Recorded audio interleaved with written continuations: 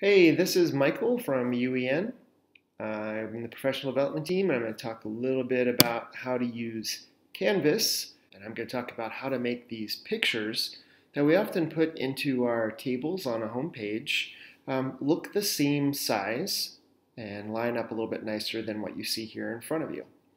So to do this, of course, I need to go to Edit on my page and you'll see the work I've already done was to create a table that has five cells going across from left to right. And I've entered in five different pictures that I had previously uploaded to Canvas.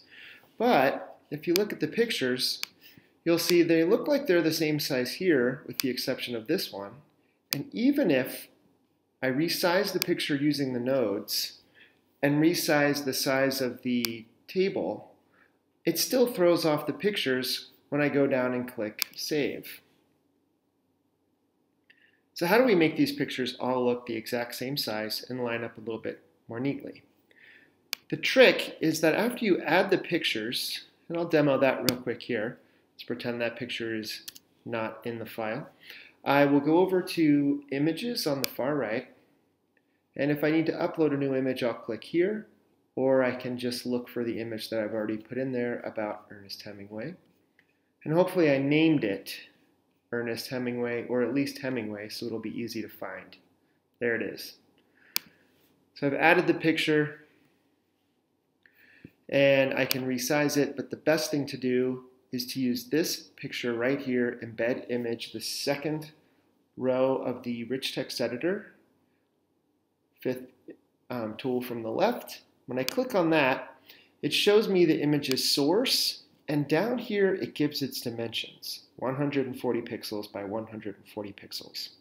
So that's the number that I'll use on all of the images to line them up to look the same size. So let's go with a number like 150, and it'll automatically preserve the ratio there.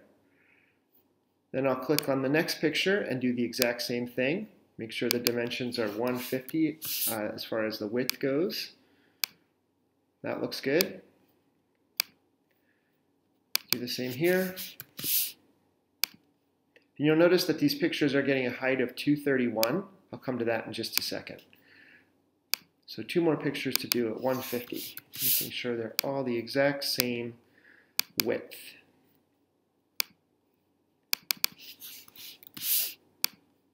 Okay, all good.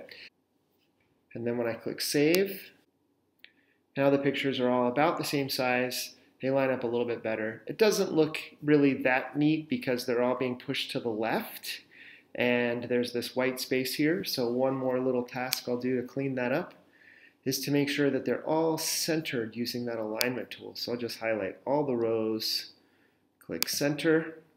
And then one other thing I like to do is get rid of all of these lines. And you can do that in the table properties, which is right here. I'll go to the border, can either make it zero or I can go to advanced and make the border style be um, hidden. Okay, now you see dotted lines there where there used to be solid lines. And if I click Save, I think that looks a lot better um, than it was before. Even though this picture is square, it's centered, um, and it's just a little bit nicer. And that's how you line up your pictures and make them all the same size. Hope you enjoyed that. And again, if you have any questions, you can always find out more information or sign up for one of our classes at uen.org slash development.